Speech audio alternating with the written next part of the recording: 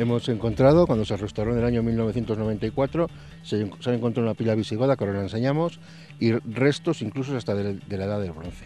O sea, por lo que se ve, este es un asentamiento de, de muchos siglos. Aquí es un asentamiento histórico que generación tras generación se ha ido conservando y lo que es el núcleo de Zorita. O sea, es muy raro encontrar templos románicos de esta altura. Los templos románicos generalmente eran muy pequeños y muy recogidos. Y esta iglesia es muy grande para ser una simple iglesia románica de un, pequeño pueblecito de, nada. O sea, es increíble las dimensiones que tiene la iglesia proporcionalmente al pueblo.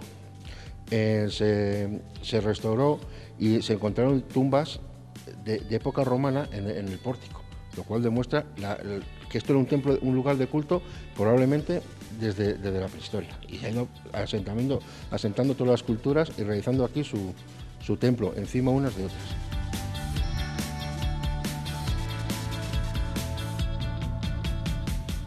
Yo en invierno veo las residencias. Este invierno vasco estuve en noviembre, diciembre, enero y febrero, cuatro meses en una residencia en Herrera.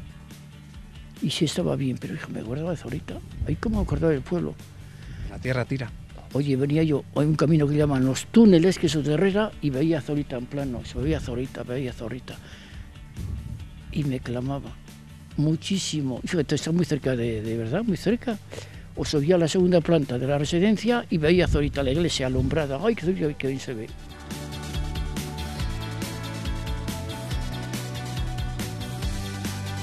No, no, no, imposible. Aquí tenemos donde ir, pero no, no podemos marchar de Zorita. Aquí se está muy bien. y amigo. Sería una pena también si marcháramos nosotros. Se acababa el pueblo. si se va la persona más longeva, hombre, si está aquí la mujer, venga para acá, venga para acá, no se nos esconda. Muy buenas. Me está diciendo Ángel, sin, aparte de que ni se planteaban irse de Zorita, porque ¿para qué? Dice, si es que si nos vamos nosotros, se acaba el pueblo casi, ¿no? es verdad, es verdad que es así, vamos, que no, no hay mucha gente eh, tampoco, que por eso nos gusta estar aquí y además es, es la raíz ya de unos, ¿sabes? De que toda la vida en pueblo, en pueblo.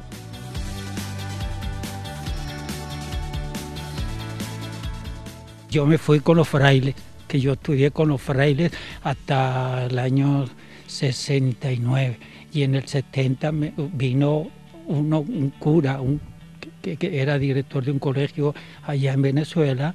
Y ¿Le fichó? sí, me fichó como... Un futbolista, como, una estrella de hoy. Para que diera ya, informa, eh, eh, fíjate, eh, educación física y, y, me y estuviera allí encargado de los muchachos en el aspecto medio de formación. Y entonces pues me fui en el año 70, yo había estudiado acá filosofía, y teología y allá me gradué de, educación y ya seguí y a los pocos años eh, me metí en, un liceo y los últimos 20 años estuve dando clases en una universidad, en la Universidad Católica de Rosa.